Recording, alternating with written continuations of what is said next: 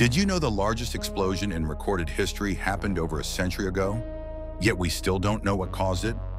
On June 30th, 1908, something detonated five miles above the Siberian wilderness with the force of 1,000 Hiroshima bombs. The Tunguska event flattened 80 million trees across 2,000 square kilometers in seconds. A flash brighter than the sun lit up the sky, followed by a massive mushroom cloud. People were thrown from their feet 400 miles away from the blast site. The shockwaves circled the Earth twice. But here's the strangest part. No crater was ever found.